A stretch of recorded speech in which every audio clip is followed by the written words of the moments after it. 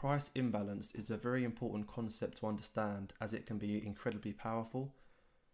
So, imbalances occur when either buyers or sellers take control over a particular piece of price action, where essentially it leaves gaps in the market that price will eventually come back to in the future so we can rebalance price before either continuing or continuing in that direction. So when we look at a bearish imbalance, it means sellers have been mostly dominant um, in in moving price down, and the buyers haven't had a chance to get involved. So the same is true for when we see a bullish imbalance. Buyers take control and the sellers don't get involved um, in the majority of that move. So imbalances occur on every single time frame. So from the monthly all the way down to even you know a seconds time frame. Uh, you'll see it happen on, on every time frame. And once you go through your chart just to see how this works, you will start to view the markets differently and realize how price refills these imbalances sometimes perfectly to a T before you know continuing in the other direction. Price imbalance is when we either get a large momentous candle or where wicks are not meeting. So the easiest way for me to show you this is with the example below where we're going to look at three bullish or bearish candles in a row. So if we look at this example here, we have three bearish candles in a row. Okay, so it's all selling pressure. Now, this would be classified as a balanced bit of price action because if we look at the wicks, you can see they're meeting. So what does that mean? Well, if we look at the the low of this first candle wick, you can see it, it was down here. We then had price come up and we had this candle coming down. And then the top of the third candle is meeting with the bottom of the first candle so you can see there's no imbalance that has been left. So prices come down, pull back a little bit, come down again, and then it's pulled back to rebalance and meet the bottom of this wick here with the top of the third wick, as you can see. Now an imbalance would be here. So we have the exact same thing with three candles, but you can see how the top of the the bottom of the first wick here is not meeting with the top of the third wick. So this whole move from this wick to this wick, this bit of um, trade in, in here, this selling pressure is called an imbalance. So you can see where the wicks are not meeting. So that's basically what an imbalance is. And we have the bullish example here. So we have three bullish candles in a row. This is a balanced bit of price action because the top of the first wick is meeting with the bottom of the third wick. So it's balanced. And another word for it is is efficient. So it's efficient price action. This is inefficient. This is efficient. Now an imbalance, you can see the same thing. We we have a a gap from the top of the first wick to the bottom of the third wick. So this is the imbalance in here. Now what I'm going to do is go through Euro USD. Let's go on to that now and I'm just going to go through a month's worth of, you know, data on the hourly time frame, and you can see some examples. So I've drawn out some imbalances and some order blocks. So let's go through it. So zooming right into this bit of price section, you can see we have the three candles coming down. Okay, so one, two, and three, a bearish push. If we take the low from the first candle, which is here, and the high, you can see this is an imbalance and I've put it on. So the line here from this wick to this wick, you can see, let me just get on, there we go. So from here to here, this is an imbalance, okay? So price is likely to refill that before continuing. But if we also see this, this push down broke structure and we have an order block, which would be the last up move re refined down to this candle. Price tapped in before then continuing. as you can see. We tap in, we rebalance that bit of efficiency, inefficiency, sorry, and then we continue after tapping into the order block. So this bit of price action here, you can see we low, high, low, high. We're sort of pulling back each time we're making lows. So we can classify this as you know efficient price action because all the wicks are sort of meeting with these pushes down, which would be more seen on a lower time frame. These these um efficient price action sort of moves. But continuing on, the next bit is here. So we have a breaking structure. We have three bearish candles. So if we look at the low of this candle and the high of the third, this would be the imbalance. So you can see we also have, have an order block, which would be here because the momentum came in here. So price comes all the way down here and then we eventually come back up, pull back, we come up again and we rebalance. So you can see this wick here rebalances that inefficiency perfectly. Now we do fall just short of the order block, but we could refine it down on a 15 minute time frame and you know get involved in that trade. And yeah, so if we look here, we have a low, lower high. Price then impulsively breaks structure here and we get three bullish candles in a row. But if we look at this candle, so one, two, and three, we take the high of this candle and the low, we can see we have imbalance. Price then pushes up, pulls back, it just taps into that imbalance, but it, it leaves quite a lot left to uh, refill. We then break structure, we tap into this imbalance before rejecting. We form some liquidity around this area, but then we do eventually tap into it. And you can see the bottom of the imbalances here. We have an order block. Price come down to tap into the order block to rebalance that inefficiency perfectly before continuing. So this would be a very nice trade that we can get involved with. But if we just move on, after tapping in, we break structure and you can see from here, so we have one, two, three again, three candles, the high and the low, you can see we're meeting. So this is what we call efficient price action. So as prices come down, now this wick on a lower time frame would obviously be, you know, bearish candles. We can classify this as, you know, efficient. So price can come up from here. We can move up to new highs as we as we did. So the next bit is here. The high of this candle to the low, only a little bit of imbalance, but you can see price wick down um, before you know continuing to the upside. Next bit is here, so the high and the low, this would be the imbalance. Price comes down with this wick, excuse the drawings, but then ultimately we continue up before pushing down. Now with imbalances, it won't always uh, refill price completely to like 100%.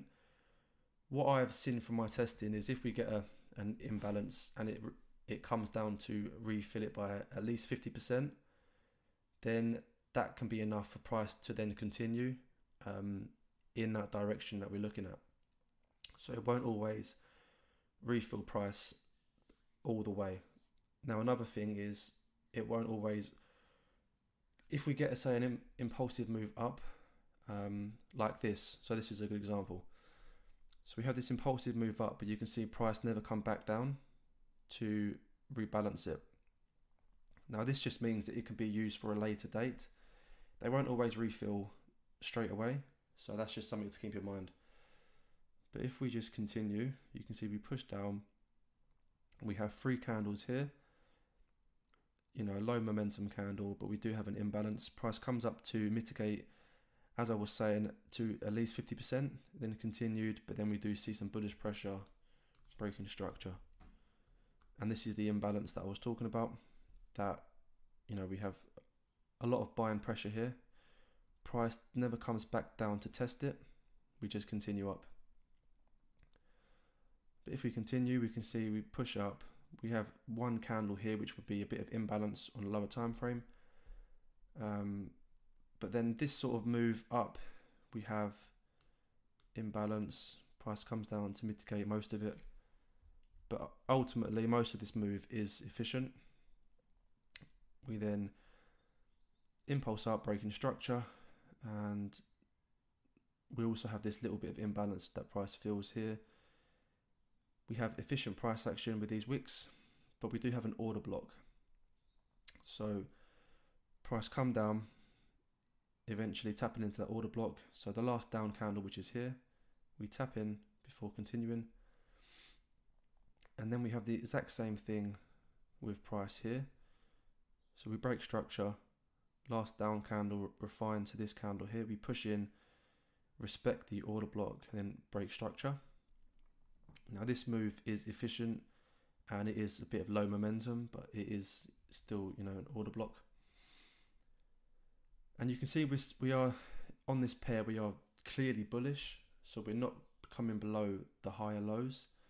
And, you know, we're respecting these order blocks that are forming. So again, we break structure to the upside. We have the high of this candle to the low, which is an imbalance. Price comes back down to rebalance. We tap into the order block and you can see we tap in three or four times. We push off and then we come back down to mitigate to the 50% or just, um, you know, around 70, 75% of the order block before continuing. The next imbalance would be from this wick to this wick. So this whole move is just nothing but buying, which, you know, we had this push down, which was mitigating this move. So this was just probably a news candle. Um, but yeah, moving on. This is all efficient. You can see how the wicks are, you know, matching. They're meeting with each sort of move. And three candles here, wick to wick, you know, it's efficient price action. So moving on. We have here, so if one, two, three, this imbalance price comes down perfectly, which would be seen, you know, more on a lower time frame. But we come to balance price, we push up, push back down, and then we have an imbalance here price comes up but then ultimately just breaks right through it impulsively. So let's keep an eye on this bit of price for a future movement. So we have an imbalance and we have a clear imbalance here as well which you can see price comes down. Okay so moving on we break structure. The high and low price comes down to mitigate pushes back up and then we do see price move to the downside, but as we broke structure here, we could take the last up move, refine it down to this candle, price tapped into an order block. And if you want to say we had an imbalance, we could argue from this low to this high—a little imbalance. Only little, but you know, we still come up to refill that. We have an imbalance here, so a lot of buying pressure here comes down pushes off and then we, we fill it all here and we do reject off of this order block. We wick below. And this wick was ultimately just trying its best to you know refill this large move here. And as you can see we do feel around 50% of it. As I was saying you know 50% is a good sort of level where it likes to rebalance before continuing. But if we continue, we can see the next imbalance would be here from this low to this high. Price doesn't quite come down to refill it all. We do break structure. We have these little imbalances here. We tap into the order block. We reject it. We tap in again, reject it. And then imbalance here. I'm sure you can get the the, the um, the concept of how powerful this is just from looking at this, you know, one month of data. So next imbalance is here. We come down, an order block is formed. We respect it. We tap in. We break off. Tap in again. We leave this imbalance from this high to this low. Price comes down, and again, probably due to some news, we wick below the imbalance, tapping into an order block, and then we see some heavy momentum to the upside. And price comes back down.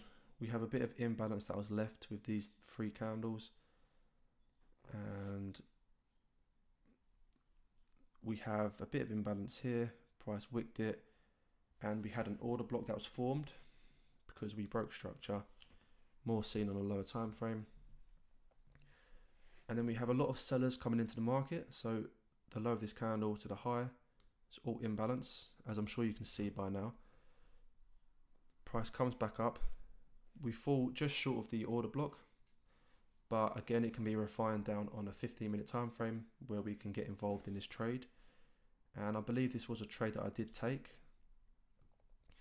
Now, with imbalances, what we can do is just use them as extra confluence when looking at a trade. I don't never recommend you trade solely off imbalances because it's simply not enough to have as a confluence to trade in. So it's better to use it. So if we're looking at this as, you know, our so hourly time frame, we, we're looking at this as a push down, a pullback, and a new low. So this would be our lower high, where we can look to get short from. Now what we can do is use the imbalance from here to here as just more of a confluence.